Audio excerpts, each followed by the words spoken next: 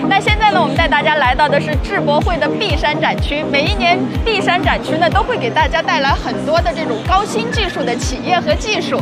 在这里，我们是特别邀请到了璧山高新区管委会的卢主任。卢主任您好，您好。那咱们本次这个展区是一个什么样的特色呢？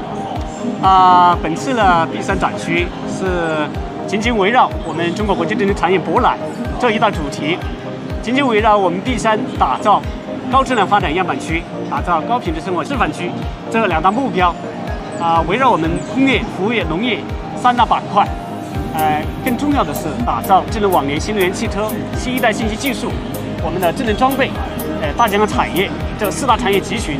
来整体的布局我们的第二区的展馆。那带大家一起来看一看我们的这个展馆。好的。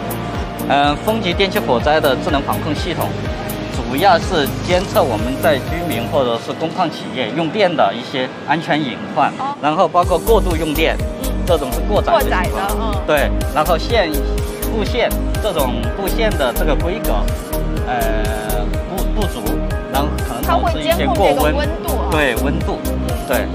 好的，好的，谢谢您，谢谢。好，谢谢。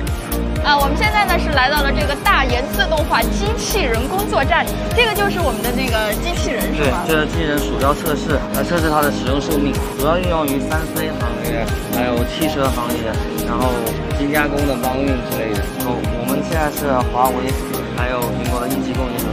哦，所以咱们这个技术肯定是很过关的，很牛的技术。好的，好的，谢谢您，谢谢。大家来的是位于璧山的重庆市高新技术产业研究院。那据说这个展区里面也有很多的高新技术，在这里我们特别邀请到了这里的林部长。林部长您好，你好。那咱们这个展区最大的一个特色是什么呢？呃，我们研究院呢，就是以高校的科技成果转化为核心，把高校的这些技术从实验室带上生产线。我们为这些高校提供全流程的服务，帮助他们把这些原创的科技成果。图像市场，我们这个板块是围绕着新一代信息技术啊，去筛选的我们国内外顶尖的这个原创科技成果。